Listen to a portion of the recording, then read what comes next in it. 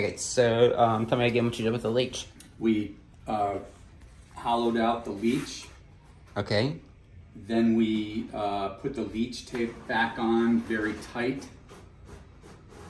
And then the third thing we did is we changed the purchase system for the leech cord to a three to one system so it can be adjusted easily rather than trying to pull it and you couldn't get any movement on it. Yeah, that is a pain with all my cells. So explain the three to one to me.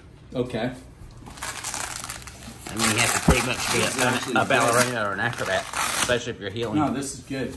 Oh, wow. I see what you mean. Yeah, it- okay. It, it was originally just a two to one. Yeah. But also, the way this was set up, there was, um, what do you call it? Uh, not chafe, but friction in here. So by doing it this way, you can Get a better bite. You know what I'm Pull, saying? In other words, when you see, because you're pulling through here, you know this tube, Mm-hmm. and it's it's got obviously inherently has friction in it. So um, this gives you a way better purchase to uh, To hammer down on it and tighten it. yeah, which will have to be done when sailing is happening. But one thing for sure, his halyard was loose. I think the day we went sailing, we might have tightened it up. For the main sail or the general? The main I. I remember we tightened up one sail, but but at the end of the day, if the main halyard is loose, It's, it's going to the cause leech the leech wants to inherently flutter. So you got to have Got it. Tension on your halyard and the sails. Yeah, yeah. yeah. Get, get I mean, like light it up. Got it. Um, so, and now the the real trick is this is on one tack. Let's see, this would be on the port tack. You can actually get to this cleat. On starboard tack, Yeah. in other words, because it goes around. On starboard tack, you can't physically reach around the back of the sail to try and get it. And it takes a little bit of acrobatics. The day we went sailing was blowing up. And you're heeling too much to do it, yeah. we just couldn't get to it. So um, that's that. But he will have to adjust the leech cord, and I know he's older.